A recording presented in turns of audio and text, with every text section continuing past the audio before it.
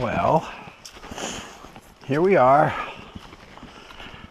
out in the middle of nowhere.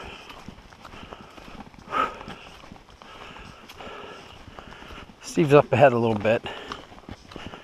I actually uh, let him go up there just so you could see the trail with nobody on it. He has to stay up front because of his dog. She likes to push around. so he's leading and he's up the trail just a little bit. So, well, this is what it is. This is actually pretty decent area.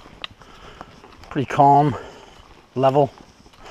Trail's pretty decent. We've uh, got some pretty serious hills that just knocked us around a little bit. You can see Steve way up there and Naya. But uh, it's not fun right now. I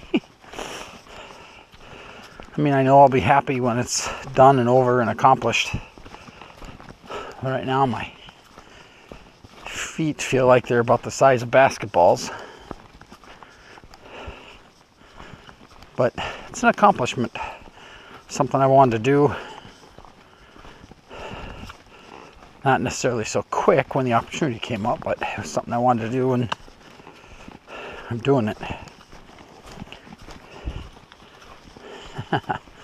Naya's getting some water up there, so. Alright, we'll talk later.